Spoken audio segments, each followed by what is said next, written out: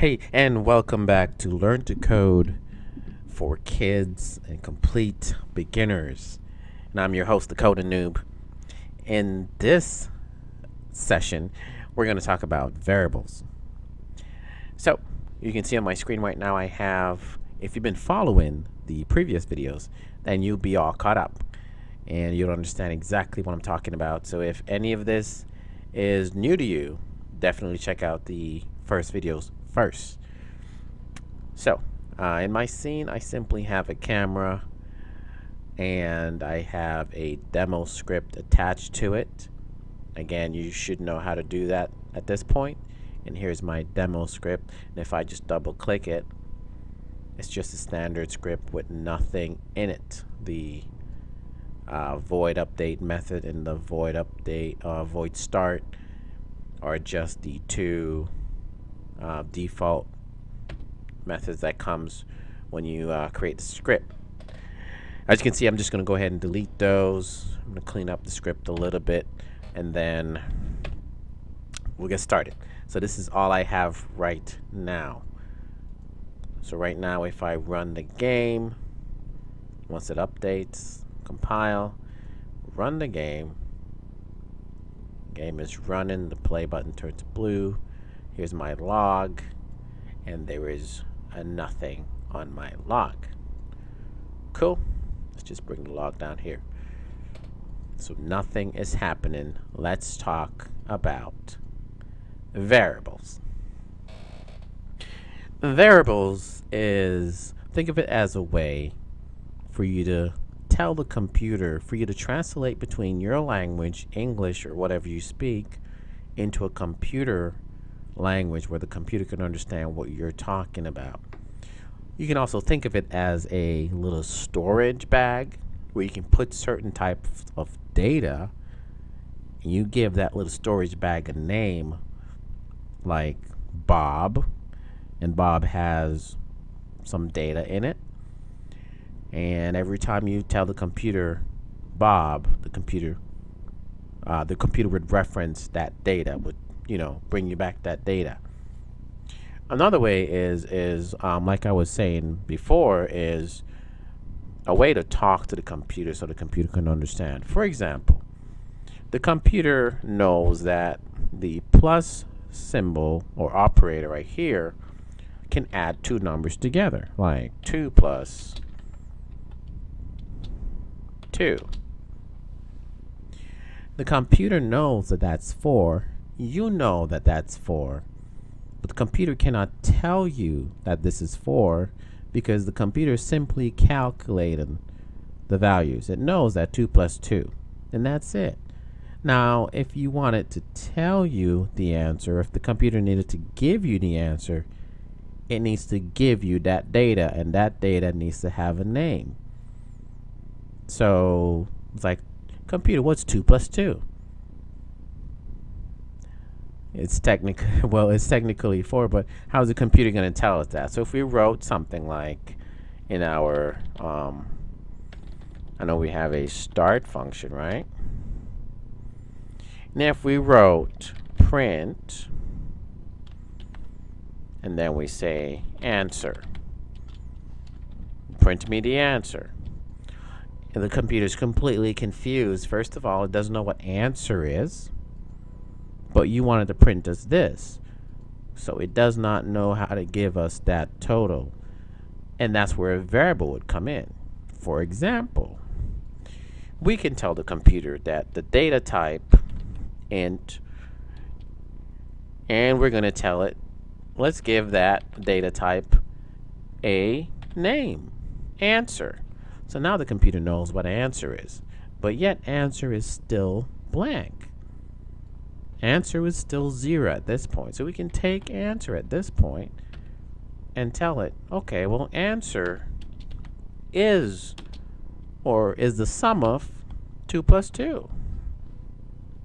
So with that saved, I've now stored what I need, which is the answer, into answer.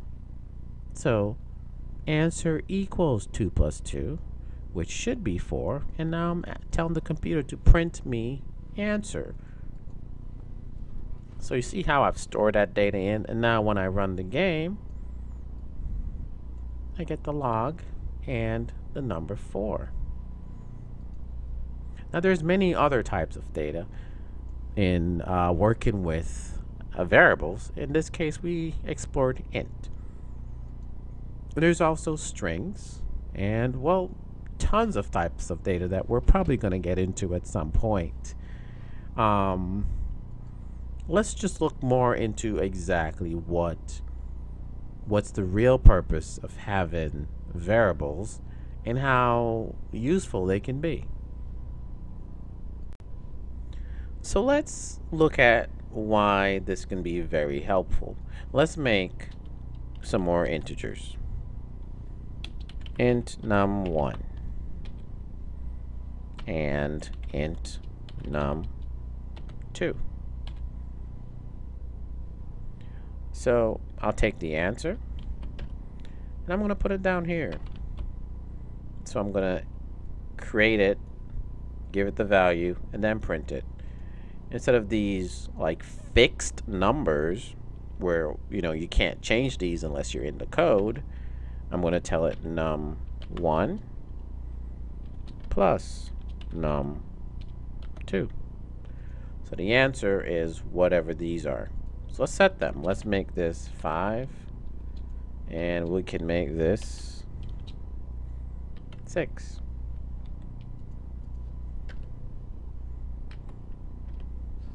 Okay, so if we save this, Unity will compile, press play,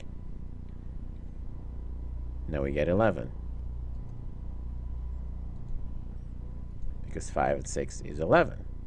Here's a cool thing though.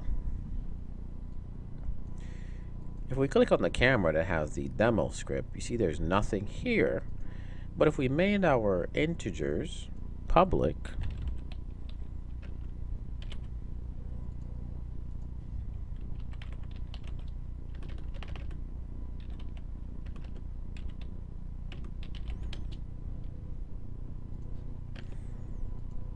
if we made them public so instead of having it at 5 I just leave it blank and 6 I'll leave it blank but we made them public so that means we can go back to Unity. And if I click on the camera, you see that they show up here as public variables. Now earlier I did set them as 5 and 6. Unity remembers that and kind of store them in there by default. But this means I can change this. Let's make it 50 and 3 I press play. So I've changed my view around a little bit just to make it better for you to see. Again, if I run the game, as soon as it starts, I get 53 right there. Let's have the computer print my name. I'm going to tell it to print name. Well, actually, name is actually a real existing variable. So I should probably change that to something else like underscore name. So now it doesn't know what name is, which is correct because I haven't created any variable called name. I'm going to create one now. It's going to be a string. String means text. Going to be a string, and I'm going to call it underscore name, just like this. And I'm going to tell it noob inside quotations, so it turns red, and then always end with that semicolon. So now, noob, it should print noob. I'll save it. Back to Unity, it compiles. Now hit play. Let's see what it says here. Noob.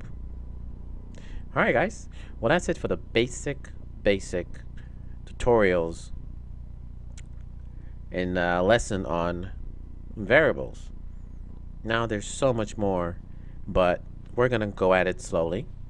And as the other tutorials comes out, we'll learn more.